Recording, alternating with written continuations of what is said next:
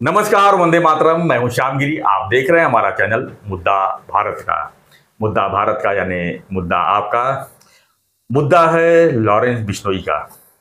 जी हाँ लॉरेंस बिश्नोई का एक नाम इसमें चर्चा में चल रहा है क्योंकि उन्होंने जो है एनसीपी के नेता महाराष्ट्र के बाबा सिद्दीकी का सीधा सीधा कत्ल करवा दिया है और इसको लेकर जो है पूरे महाराष्ट्र में रोष है।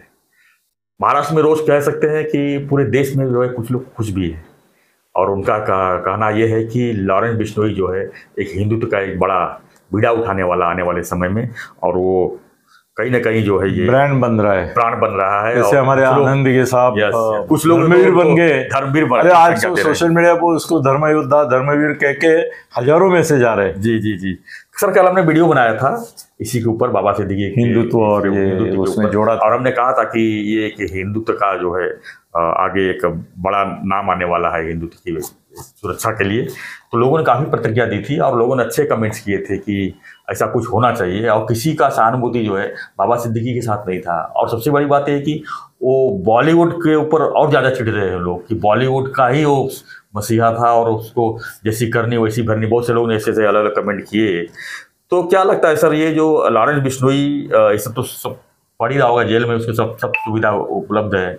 उसको राज ही करता होगा। वही जेलर होगा यस, यस यस तो क्या लगता है कि वो अभी आगे और कुछ बड़ा कुछ करने की करेगा ना? करेगा? जी। करेगा। कल आपने जो बोला वो मुझे सही लगा। आपने बोला कोई वो सलमान को कभी मारेगा नहीं। नहीं मारेगा क्योंकि जैसे ही सलमान खत्म हो गया तो वैसा ही हो जाएगा कि भाई अभी श्री राम मंदिर बन गया तो उसकी बात न्यू इलेक्शन में नहीं चलती है। जी, जी, या ब्रांडिंग में नहीं चलती है। तो सलमान को मारेगा नहीं। डरा के रखेगा। हाँ डरा के रखेगा। मगर मुझे ऐसा लगता है कि मारना बहुत आसान है सर। किसी को भी मारना सर किसी को भी मारना। और सरकार कुछ नहीं कर सकती। अभी होम मिनिस्टर इनका वो रिसिग्नेशन अभी इनको वाई सिक्योरिटी था बाबा को। हाँ ना। नहीं उस समय तीन पुलिस में से एक ही पुलिस था। सर रहते नहीं ना ऐसा आदमी रिलैक्स हो जाता है। सर एक जमाने में मेरे को यशवंतराव चौहान थे तो मेरे को जेड प्लस सिक्योरिटी फिर मैं पूरा आगे पीछे गाड़ियाँ लेके घूमता था शंकरों के ज़माने में। और उससे कुछ होता नहीं है सर।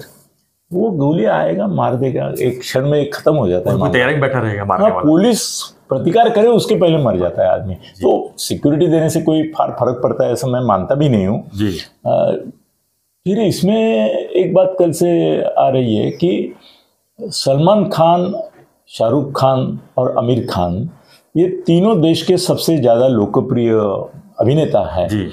और उनको राज ठाकरे ने बोला था कि ये खानावड़ है। मतलब ये खान नाम के जो लोग हैं उनका ही राज चलता है। वही वो डिसाइड करते प्रोड्यूसर डायरेक्टर इसमें बहुत फ़िल्म लेने का किसको नहीं लेने का। और नो नदीम श्रवण में से जो नदीम था उसने तो इसको मार डाला था। गुलशन कुमार। गुलशन कुमार जी। तो ये मारने की परंपरा फ़िल्म वाले बहुत मर गए। जी। अपने ऋतिक रोशन के पिता राकेश रोशन कर भी हमला हुआ था हाँ फायरिंग वो क्या मुसलमान राजीव राजीव राय के ऊपर फायरिंग हुई हाँ नहीं बहुत सारे फ़िल्म वालों के ऊपर खंडनी के लिए इसके लिए होती है। मगर अभी मेरे को लग रहा है कि जो हिंदू मुसलमान संघर्ष था वो अभी जल्द ही बॉलीवुड में आ जाएगा और ऐसे आह्वान हिंदू संगठनों की ओर से आ सकते हैं। कि भाई सलमान खान का बहिष्कार करो आमिर खान का बहिष्कार करो हाँ। तुम्हारे शाहरुख का बहिष्कार करो जितने भी खान है वो बहिष्कार करो। तो एक तरह से कला के क्षेत्र में आज तक ये जंग नहीं थी। दिलीप कुमार को हमने दिलीप कुमार ही समझा यूसुफ खान कभी नहीं समझा है कि नहीं? बहुत सारे एक्टर एक्ट्रेस है कि जिनके नाम हिंदू है वो मुस्लिम है। मगर हमको मालूम होते हुए अभी सुलोचना महाराष्ट्र की जो ममता वात्सल्य मूर्ति सुलोचना करके थी वो हिंदू नहीं थी। फिर भी वो हिंदू का पूरा अवतार थी वात्सल्य मूर्ति। ऐसे बहुत है। मगर अभी ये युद्ध जो मंदिर और मस्जिद तक सीमित था वो अभी बॉलीवुड में जाएगा ऐसा मेरे को लगता है। और अभी सलमान के देखो नवल टाटा के निधन पर जिन्होंने शोक मनाया। Ratan Tata. Ratan Tata sorry sorry sorry Ratan Tata. तो सलमान के लिए ओपनली श्रद्धांजलि लेने कोई फ़िल्म वाले नहीं आए ज़्यादा। बाबा सिद्दीकी हाँ बाबा सॉरी आप तो सलमान को ही लुढ़का दीजिए। नहीं नहीं बाबा सिद्दीकी क्योंकि क्या है ना अभी सलमान का साथ लेना मतलब अगला बिश्नोई का टारगेट वो हो जाएँगे ऐसा उनको उन्होंने बोला ना सर सलमान का जो मदद करेगा वो समझ संभल के रहे। सर मगर सरकार तो मदद कर रही है। सरकार मदद करी ना सरकार थोड़ी मारेगा वो। सरकार को मारेगा? सरकार में किसी को मारेगा? सरकार थोड़ी मारेगा वो। क्यों? पर्सनल अभी इसको मार सकता है तो उसको नहीं अभी जशीन तो आमदार है। सरकार में सभी आ जाते हैं सर। जशीन में नाम मतलब जशीन भी उसका जो बेटा है उसको भी मारने वाले थे वो। हाँ। दोनों को मारने वाले थे। वो फ़ोन आया करके वापस गया। जी। करके बचा। नहीं ये अब एक अभी तो लोग मैं धर्मवीर धर्म योद्धा वगैरह मानने के लिए तैयार नहीं हूँ सर। ऐसा क्रिमिनल को आप किसी धर्म से जोड़ना संज्ञा नहीं दे सकते नहीं दे सकते। और लोग बोल रहे हैं कि अभी नया दाव तैयार हो गया है। मेरे ऊपर ये इल्ज़ाम आएगा कि वे आनंद दिघे साहब को आपने ही धर्मवीर बनाया जब उन्होंने श्रीधर खोपकर का मर्डर किया। तो आप किस मुँह से बोल रहे कि इसको धर्मवीर मत बोलो धर्म योद्धा मत बोलो? इसके लिए मेरा थोड़ा सा प्रॉब्लम है। मगर ठीक है जिनको कहना है वो कह सकते हैं। वैसे भी इतिहास में बहुत सारे ऐसे किस्से हैं कि जहाँ पे लोहा लोहे को काटता है इस तरह से पॉलिसी ली गई। और ठीक है अभी वो दाऊद को जिस दिन मारेगा हाँ। दिन हम दिवाली मनाएँगे फिर उसको धर्मवीर करके कोर्ट से अपने इससे भी जेल से भी छोड़ने के लिए हमारी हरकत नहीं है कुछ। अब मेरे ख्याल से टारगेट करेगा वो आज नहीं तो कल। करेगा। करेगा नहीं वो सलमान को नहीं मारेगा एक बार मगर दाऊद को मार के दिखाएगा। जी। और दाऊद के पीछे एक ये बिश्नोई नहीं बहुत सारे बिश्नोई पड़े होंगे। जी। जो सरकार के गुडविल में आना है और संबंध अच्छे रखना है तो और लोगों के भी दिल में रहना है। हाँ। अरे वो अगर दाऊद को मारता है और उसकी गैंग क्रेडिट लेती है कि हमने मारा जी। तो देश में तो वो तो खासदार करके फुल्लन ने भी चुन के आएगी। तो ये भी चुन के आएगा। जी। क्या मालूम कल वो देश का कुछ मंत्री विंत्री बनेगा हिंदुत्व के मंत्रिमंडल में। छोड़ो। ठीक है धन्यवाद। धन्यवाद सर। तो फ्रेंड्स आपकी क्या प्रतिक्रिया है? लॉरेंस बिश्नोई का जिस तरह से बोलबाला चल रहा है इस समय खासकर बॉलीवुड में वो अपनी दहशत बनाना चाहता है क्योंकि बॉलीवुड में जो है काफ़ी चीज़ें होती है वहाँ पर तो उसकी एक विशेष बात मुझे लगी कि वो पैसा नहीं मांग रहा है। जी। बिश्नोई वो खात्मा कर रहे हैं मगर पैसा नहीं मांग रहा है। कैसे खंडड़ी खोर नहीं है। देगा नहीं सर ना अभी? पैसा तो लगेगी लेकिन पैसा मांगेगा भी वो। लेकिन पैसा अभी तुरंत नहीं मांगा। अभी पहले अपना बैकग्राउंड तैयार कर रहा है कि मैं क्या कर सकता ब्रांड बन रहा है। दहशतवाद का नया चेहरा। यस ब्रांड बना रहा है और ब्रांड एक बार बन गया तो फिर लोग आपको पैसा देंगे आपको आप पैसा हाँ, देंगे। वैसे दाऊद का है।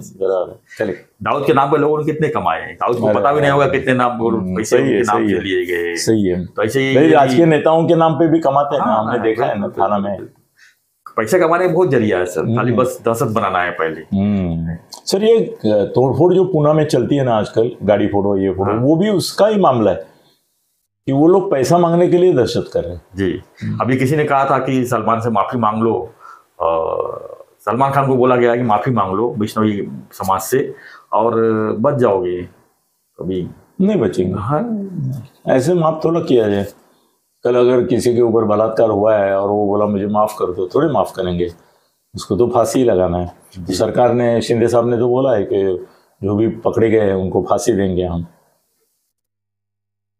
एनीवे देखते हैं आगे क्या- किस तरह का गैंग तैयार होता है किस तरह गैंग को कंट्रोल किया जाता है क्या और सरकार वो क्या सबसे बड़ा सवाल ये भी इसके ऊपर ही इनको मैसेज भेजिए। क्या आप उसको धर्मवीर धर्मयोद्धा मानने को तैयार है क्या?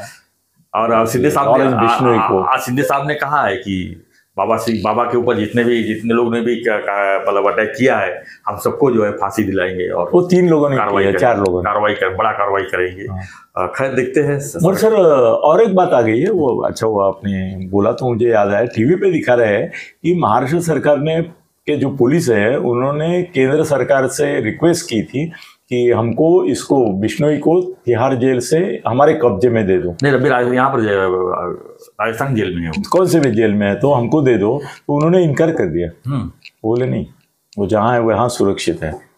तो उसको सरकारी संभाले हुए सर। उससे सात सौ आठ सौ लड़के तैयार है। वो अगर उसको कुछ हो गया तो उसका क्या वो लोग कितना ये करेंगे? देश में हाँ, है। मचा देंगे। बड़ा दिक्कत हो जाएगी फिर। और हिंदू लोग फुल सपोर्ट करेंगे उसका। हम्म, जिस तरह से चल रहा है सब हिंदू लोग फुल सपोर्ट करेंगे। उसके लिए रास्ते पे जाएँगे फिर। तब क्या? इसलिए उसको संभालना ज़रूरी हो गया इनकाउंटर भी नहीं है Yes, उसको। संभालना बहुत बड़ी है। जेल में रह के सब कुछ करेगा।